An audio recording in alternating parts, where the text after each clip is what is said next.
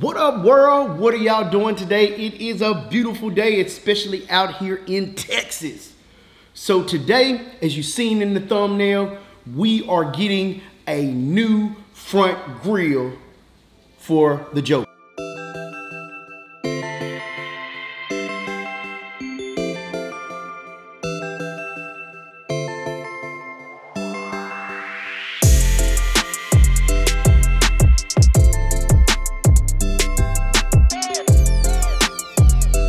So when I went to go buy the Joker, and I'm gonna keep saying the Joker, well, the 2019 Dodge RT, I was looking at a 2017 Scat Pack 392, right?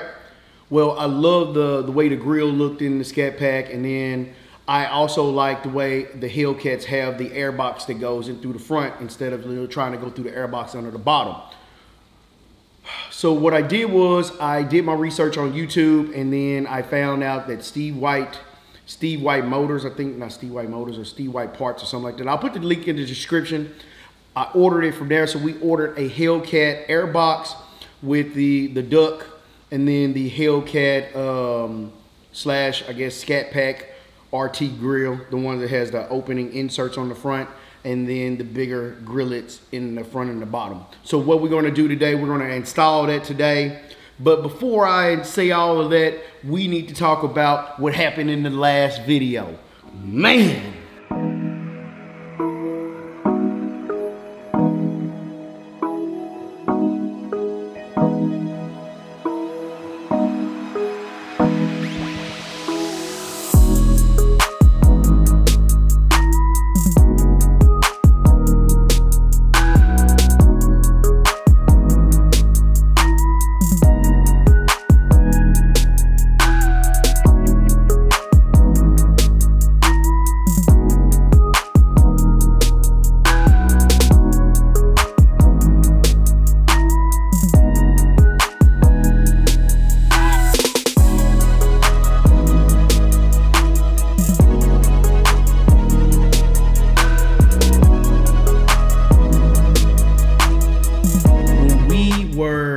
putting those tire stickers on, because if you watched the video before this, they were a monster.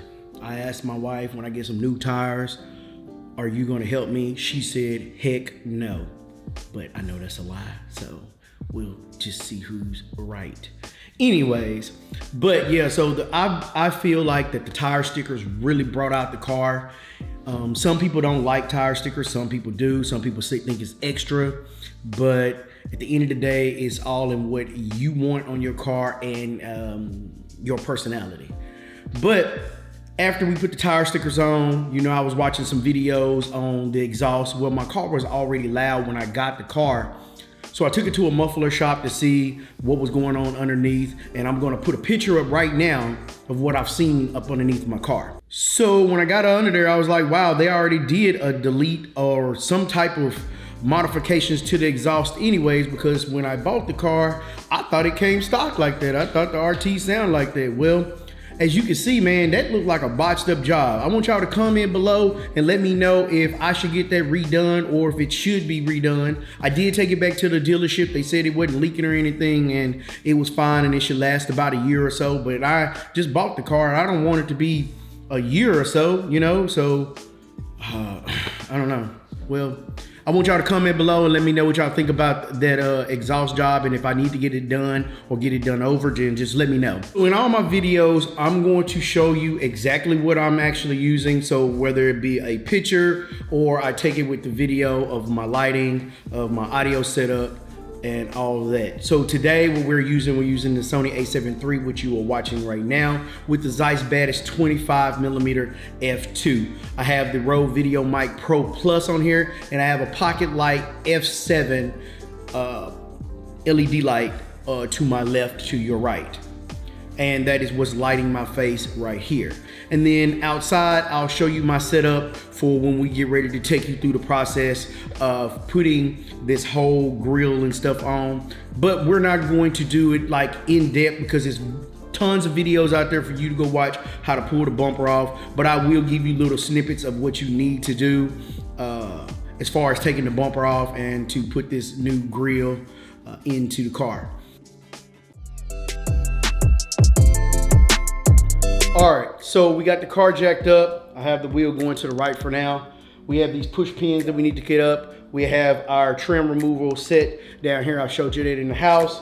Uh, we have, we're also gonna be putting in some LED lights while we got the whole front bumper off because it just makes sense instead of trying to put my finger down here and uh, start uh, turning the thing to get the light out. And on the other side, we gotta remove the airbox anyway because we're putting the Hellcat airbox in here. So it just really doesn't make any sense not to do it at the same time. So we're gonna get started. Like I just showed you in this video, here are the clips that you have to take out on the top and then I'll show you the ones on the side and then we'll go from there.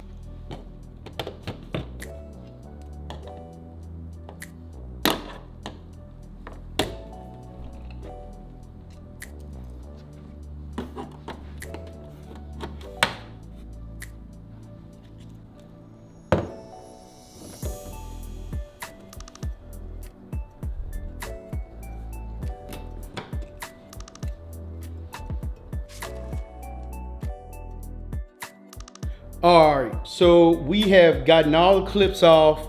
I had to take off the wheels. I, like I said, I don't have two jacks, so I had to jack one side up because my jack stands are too high for this and you had the back wheels all raised up. But anyway, I got all the clips off the off the top and then I got the screws under the bottom and then I went in there and got the two screws off the side. And hopefully if I did everything right, I should be able to pull the bumper off and uh, yeah, get started.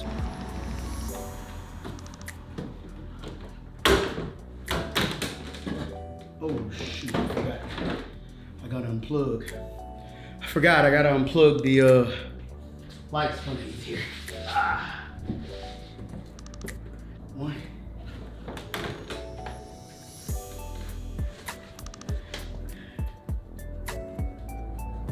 All right. So we have the front bumper off.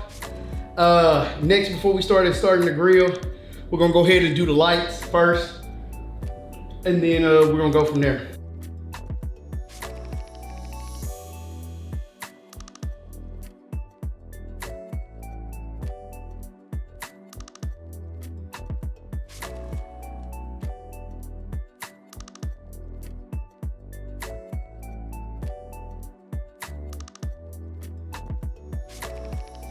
All right, so I bought these LEDs uh, off of Amazon. They're called Trueland. And the thing about these and these cars, since the car is low voltage, you gotta make sure that you have a, a CAN bus on here so you don't get that flicker. So hopefully these lights that we put in, um, they don't flicker because you got the CAN bus uh, thing right here. These are the halogens that they put in there. I don't understand why Dodge would just put these in here when they could just put LEDs in there. They put LEDs in the fog light, so it doesn't really make any sense to me. So you have to make sure that you have these on the right because it is a positive and a negative. Um, and after you plug it in, just open your door, your car. If it doesn't come on, just swap these and it should come on. So this is the CAN bus here.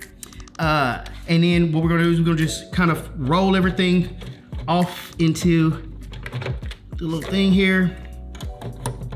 And we're gonna twist it until it's in. And these do have a fan on them. So after that is done, we'll get the dust cover this way you don't have to do, uh, I didn't do HIDs because HIDs you would have to cut a hole in here and put the ballast somewhere else. So we did LEDs. So hopefully tonight these LEDs are pretty sharp. I just took the whole light out because it just makes it a lot easier since we got the front bumper off and it was four screws, two on the top and then uh, one on the side and one on the bottom. So we're gonna put the dust cover back on. You wanna make sure it's on right. And so it don't get any dust in there. So I think what we're gonna do is me and my wife are probably gonna clean this off uh, right now and then put it just put it back in. And I've already tested the light and it does work. So there you go.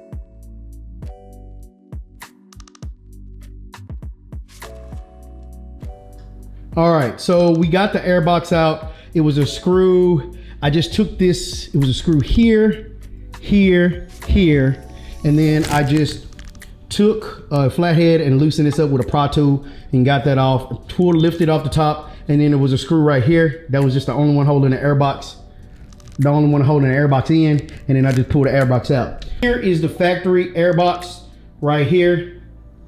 And here is the Hellcat airbox that I got from Steve White. Um, you could tell the difference. I didn't think I needed it at first, but obviously I really do because this one doesn't even have anything inside of it. So that is a difference and you definitely need it. And it's definitely gonna go in here. And then the tube comes out to here. And we got the new grill that's gonna be in the front that's gonna allow air to come through. Now you also have these air ducts here that allow for your brakes to get cooled off. So having that new grill that's really open is going to allow us to uh, breathe a little bit better.